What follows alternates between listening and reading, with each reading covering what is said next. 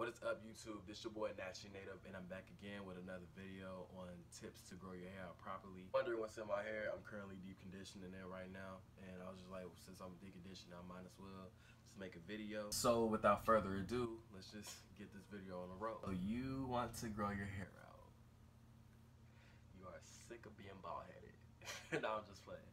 But you honestly want to grow your hair out and you don't know honestly how to or better yet you want to grow your hair, you know some tips, but you want to better it so you can like get the most out of your hair. And this video is going to anybody who has any type of hair. Um, type 4A, type 4B, type 4C, type 3, it don't matter.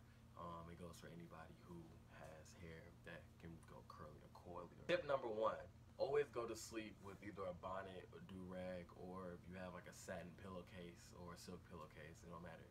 But don't ever go to sleep on cotton. Cotton strips our hair of the natural oils we have or the oils and creams that we put in our hair on a daily basis, which then makes our hair also lose, lose that, lose, it helps, it makes you lose the, um, the moisture that you have in your hair. And if you lose the moisture in your hair, what happens is that it leads to more breakage. And if you're trying to grow your hair out, the one thing you don't want to do or look forward to is breakage. Like nobody wants to have breakage. Um, and also the reason why you want to wear a bonnet or a do-rag or sleep on a pillowcase that's satin or silk is because of the fact that hair that is coily or curly, basically African American hair, um, it breaks easily because what happens is that because our hair is coily and curly, the sebum that is our natural oils that comes out of the inside of our head, it cannot travel down our hair as fast, which is why it is easier for someone who has straight hair or just curl curly hair. It would it would be easy for them to grow hair because the sebum in their hair flows down easily, which is why they don't get that much breakage. However, we, it mats our hair down if you go to sleep without something silky or satin. It makes our hair matted down, which leads to more breakage, and you don't want to have any breakage. It's just not good for your hair. Tip number two, you need to moisturize your hair every day. Our hair needs moisture, okay? So I don't care if you're a dude or a female, you have to moisturize your hair. Um, I'm a hair enthusiast, so I use a lot of oils and I use a lot of creams and butters because I'm just really into my hair. But if you're not like me and you don't like, you don't really care for the stuff you need to hair, and that's absolutely fine. But I suggest that you put some type of conditioner or use some type of oil or shea butter to seal in the moisture in your hair because if you don't put moisture in your hair, you can't, it's not to be, your hair can't grow without moisture. You need it, especially if you have a hair that has more of a kinky or a very coily rather than curly, like for instance 4C, you I would prefer that you you need to moisturize your hair. It's harder for you to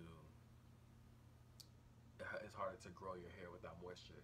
And I don't I don't actually use a lot of stuff. I only use when I get out the shower if I wash my hair, I just use some of my oils. Like for instance, I use some of my argan oil and I use other oils like castor, um, olive oil, vitamin E, and so many more. And that is actually my leave-in conditioner. I'll make a video about that in the future, but that's my leave-in, and I just use a shea butter to seal in the moisture. And then I, if I'm doing a wash and go, I use my gel. I'll use a little bit because too much gel is a problem, but I'll go into depth with that with another tip later. Tip number three, do not wash your hair every time you get in the shower. I don't, I don't know why people do that. I don't know. God knows why. But you do not wash your hair every day, okay? Unless you, and don't take this racist or nothing, but people who have straight hair, like I would say for instance, like maybe Caucasians or Asians, they can wash their hair every day because, like I said earlier, the sebum is able to flow down the hair easily rather than our hair. So they can wash their hair every day because their natural oils get replenished easily. However, our natural oils, when you wash your hair, your hair is, is clean. Yeah, and I, I understand that y'all want your hair to be clean, but you cannot wash your hair every day. You need those natural oils because our hair does not, it's not they don't produce enough, it's because it can't travel down the shaft enough, which is why I say you do not ever wash your hair a lot. Now, personally, me, I don't wash my hair. Yeah, I don't get dandruff. I don't get buildup. I don't wash my hair. Um, I co-wash my hair. People, people, a lot of people don't like that. It's because they feel like that they don't get of the cleansing that you need. And you know, co-wash is not for everybody. You know, so if you want to shampoo your hair, by all means do it. That's fine. But I suggest that you get a sulfate-free shampoo. And if you do shampoo your hair, I suggest do it maybe twice or three times a week at most. I I would rarely do that. Only time I would say you would shampoo, or the only time that I only shampoo is when I have a lot of buildup in my hair. I have too much stuff in my hair, I'll wash my hair, or better yet, I'll just deep condition it. Um, but yeah, you never want to wash your hair every day. That's just stripping your hair of the oils that you need to grow your hair, and you can't really grow your hair as much as you want to. Number four, deep condition your hair. You need everybody needs to deep condition their hair. Deep conditioning allows the hair to be soaked, which is what I have right now. It don't look as much as soaked earlier because my hair has absorbed it, which I need to go wash it out in a minute, but I'm gonna finish this video for y'all. But deep conditioning soaks in your hair follicles and you it helps it helps your hair grow because it's working on your hair. It's cleansing your hair, but it's also allowing the oils to come out because what happens is when you deep conditioning, you're supposed to have a shower cap or sit under a heating pad. I don't like using I don't like heat. I don't like I don't like to use a lot of heat. So what I usually do is I just put on a shower cap and just let my natural heat just get up in there for about 30 45 minutes depending on how what deep conditioner you have. And basically what it does is when you have when your hair gets hot, I mean when it when the heat lets your hair get through, it helps the oils come out, and that's what helps your hair grow. It lets the sebum come out once you deep condition your hair. And a lot of people don't do it. A lot of men don't do it. Like females do it, but a lot of men don't like to do it. And we need to do that more because it helps our hair grow. It helps our hair grow like dramatically. Like I just started deep conditioning my hair for the first time last year, and I have improved significantly compared to when I never never even knew what deep conditioning was. I thought it was just like a female thing. But I learned now that yeah, it's it works dramatically and I love it and I think we need to do it more so we can grow our hair out better and it makes your hair stronger too. That's another thing. Deep conditioning makes your hair stronger because it is basically is conditioning is helping your hair not only be smooth but it's also letting it be strong and letting it be its best at the most. You do not need to deep condition like every week though. I mean, you can do it once a week. I rarely do it like that as I usually used to because you don't really need it. It's basically a waste of product if you're doing it every time. You can do it maybe twice a month or maybe once a week, once a week, like I said. But you don't have to do it all the time. It's not going to damage your hair if you keep doing it, but it's just going to be a waste of your deep conditioner that you could be saving for the time that you really need it. Number five, trim your hair. Nobody wants to trim their hair, okay? I don't like trimming my hair because I feel like I'm losing a part of myself, you know? And I understand that er, don't nobody want to trim their hair, but you need to trim your hair, okay? If you don't trim your hair, what happens is that the hair that needs to be trimmed, it keeps going up the roots. And when it keeps going up the strand into the roots, what happens is that when you finally need that trim, it's going to be a little bit worse you're gonna have to cut off a little bit more than what you would have cut off prior to that. So you need to trim your hair. You don't have to trim your hair all the time. Uh, I trim my hair every few months. I say probably I trim it two to three months, and I that's because I really don't get that much breakage. If you get a lot of breakage, I suggest you probably go a little more, like maybe probably once a month or so. But you only need to trim it when you feel like there's a lot of breakage, or if you feel like there's a lot of split ends, or a lot of dead hair that's just matted and tangled in your hair. Um, what I usually do when I'm when I trim my hair, I just put my hair in a twist, and then when I put my hair in a twist, I hold it out to how full it is, and then whatever I see that's straggling, them straggling ends, I cut them, and you just need to trim your hair. Your hair cannot grow correctly if you don't trim your hair. It's just basically a waste of your time. And like I said, a lot of men we need to trim our hair more because us not trimming our hair is just not good for the hair. It's not good for you. Make sure when you trim your hair that you use hair scissors. Okay? Don't be ghetto and use the regular scissors because that's how you get regular breakage. You need to use hair scissors. They sell them at beauty supply for a dollar or two dollars. They're not that expensive. Just get some. And yes, there are they are different compared to your little kitchen scissors or the scissors you use to do your projects. Do not use them scissors. I promise you, it will be the worst mistake you'll ever make in your life. Tip number six: When you detangle your hair, um, I suggest that you use a wide tooth comb or just finger detangle.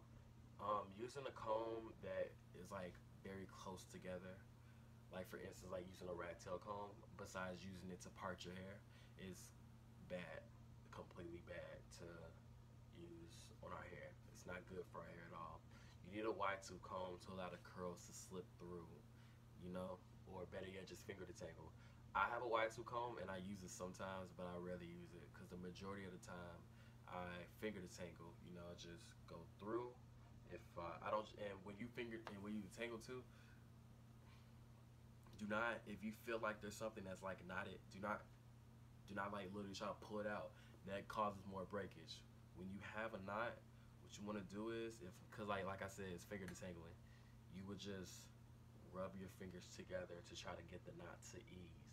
And if you can't get the knot out like you want to, then you take your scissors, your hair scissors. Please do not do not use regular scissors. Take your hair scissors and gently cut at the knot, and that's all you gotta do. But if that's too much work for you, or if you don't feel like doing all that work, just use a wide detangling comb, a wide tooth, a wide tooth detangling comb. But like I said before, um, you need to detangle your hair. You don't detangle your hair, it causes more breakage, is more prone to breakage, and it's just not healthy for our hair to not detangle. Please keep chemical use to a low. Chemicals is not good for our hair. Perms, dyes, all that stuff. And I'm not gonna act like I'm holy holy because if y'all know from my old hair videos, my hair was not this light. Yeah, um, I lightened my hair. I did not use a dye. I did it um, peroxide and baking soda and some conditioner and honey. I use that to light my hair. And yeah but like I don't use chemicals like that. It's not good for our hair.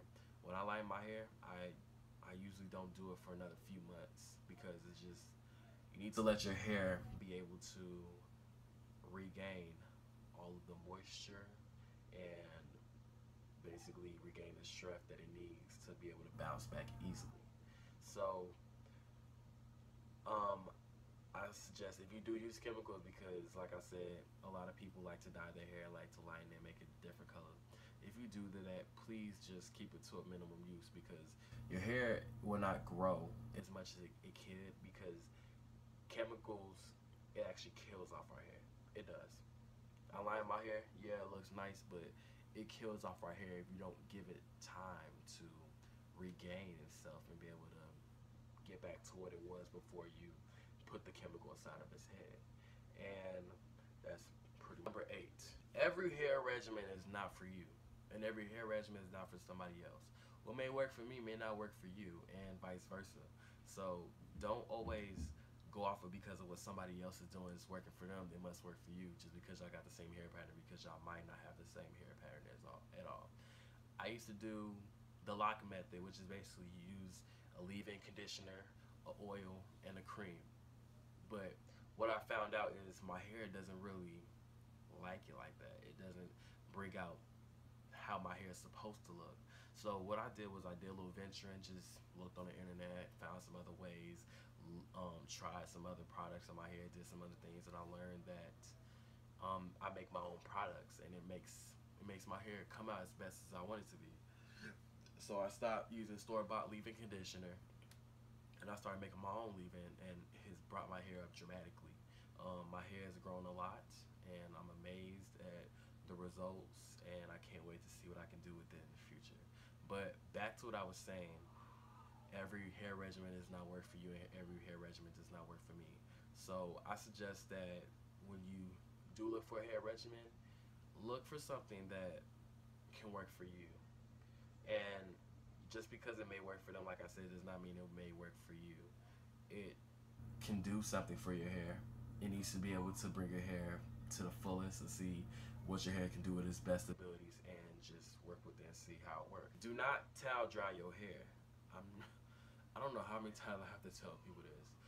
So many people ask me, you know, why do you be using a t-shirt? Or why do you well for one everybody who know me know i do not like to use heat. I never like using heat. I really don't. Unless i'm like in a hurry or i'm like going to a wedding or something that's like a big event i have to use heat. I use it like a low setting or something but i hate using heat. So what i usually do is i air dry my hair. Um when you want to dry your hair off? Please. And i please i beg. Please just use a use like a shirt that you don't no more or use something that's cotton or polyester. But do not use anything that is a towel. Do not use towel. It strips your hair.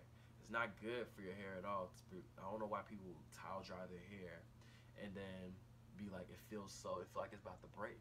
Like yeah your hair will break because you're using a towel. You're not supposed to use a towel in your hair. If you want to dry your hair use a t-shirt or use something that's satin or silk. And I know not everybody has it because I sure don't have it. But when I want to dry my hair, I either air dry it or I use uh I use a shirt. I use like an old t-shirt. Where is it at? I use I use this. You know, just dab and I and when I dry it, I don't like like I don't like snatch it out my head. You know, like I just dab it a little bit. Just dab it. Just get the, the majority of the moisture out and that's pretty much number 10 love your hair okay? I don't know how many times i gotta tell people that. Like so many dudes will come up to me or better yet text me on instagram or facebook me or twitter me or whatever and will basically be like how you get your hair like that? I wish my hair was like that. Like your hair is amazing. And i'm not trying to sound cocky or nothing but i'm just basically giving y'all the basis of what i always get every time because a lot of people know that I'm a hair enthusiast and I do my hair a lot. So they're like, how you do your hair like that? They, and they think I have like some magic trick or something. And I don't at all. You know? Um, and I tell them all the time because I'm all about being optimistic and I'm all about, you know, being peaceful and spiritual and loving yourself and self-love. And what I learned is you cannot base your hair off of other people. And like I said earlier, when I say love your hair, I, I literally mean love your hair. I don't care if your hair is as nappy. First of all, nappy is beautiful. Don't nappy nappy is not negative. A lot of people think nappy is negative, but it's not. It's beautiful. So if your if your hair, if you can't see the curl, that don't mean you don't have curls in your hair. That just means it's gonna be you have to define your hair a little bit more compared to somebody else's hair. So you have to understand that you need to love your hair and don't want what nobody else has because God gave you that hair for a reason. God gave God gave you that for a reason, you know? So thanks again for tuning in on this video, y'all. I apologize again for not making any videos lately. It's been a lot going on. I had state competition a few weeks ago and I just got back in from being in my hometown, go see my family for a little bit. So I, again, I apologize for not making the videos and I will be back to making videos now that I have a new tripod. And yeah so I will be seeing y'all in the future.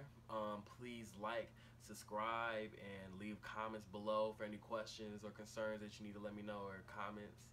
And my social media should be in the in the drop box below. Just make sure you drop down the thing on the YouTube. I don't know the word. Don't judge me. But um yeah so I will see y'all next time and see y'all